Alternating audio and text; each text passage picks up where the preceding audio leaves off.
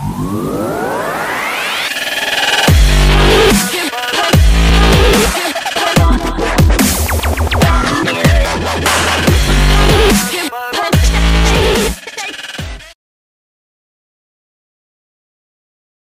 guys, I thought quickly I'd jump on today and share with you, um, continuing my Canva training series, share with you how I make a quick um, YouTube thumbnail, which is also going to be the cover image for my a video. So when I put a video into my editing software, I then put a cover image on the front of the video so that when people play the video, they get my normal standard intro, then they get the little cover so they know what's coming up next which is a graphic, and then they'll get the video.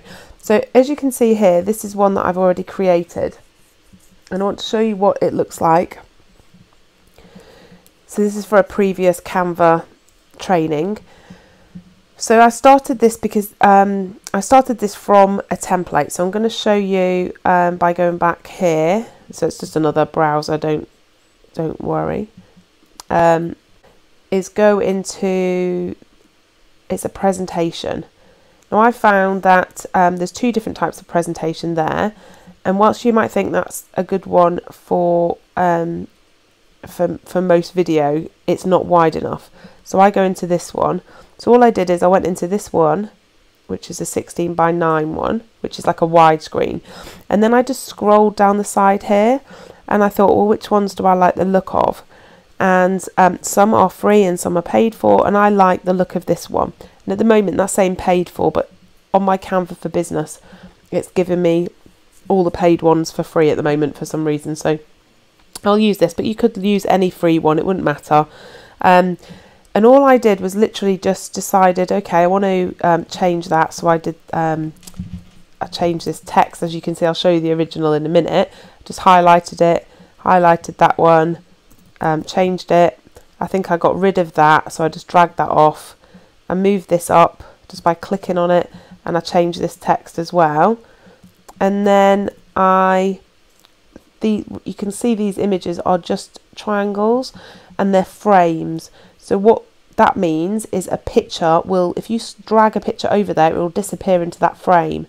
So I then went to um, elements and I went to photos and I think I went to social media because that's um, it was about social media graphics you click you can pick all photos or illustrations now illustrations won't work because you're trying to drag an illustration over something that's not the same format so you need to go into the photos bit and you need to think okay um, okay maybe I want that one so you can if you drag it over the triangle, you see how it disappears in there.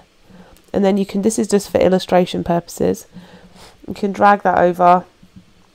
You can think, okay, maybe I want that one, maybe I don't. But it's quite cool when it's just a hand. And maybe I'll stick that one. So you can't see that, so that's not very good example there. Oh. Um, hmm, we'll just keep going until we find one that looks right. And that could that could work, couldn't it? So then you can see you can just move if you want to fractionally make sure it looks right. So that's, I mean, you could pick better images. So you can add any extra text you want to in here um, just by ma making the dot appear and then being able to type in. But I'm just going to show you what this turned into when obviously I did it for the uh, video. So there you go. So I just changed that. I dropped in some images of people looking like they're on social media. The Canva bit will disappear when I save it. And then I literally just put that as a slide in the in the big you know in front of my video when I've edited it and save it to upload it to YouTube and then save that as the thumbnail for YouTube because I think that's quite eye-catching. So that's how I create um, a slide sort of description for a video and um, which also can then um, you know also be used as a thumbnail on YouTube. I hope that's been helpful.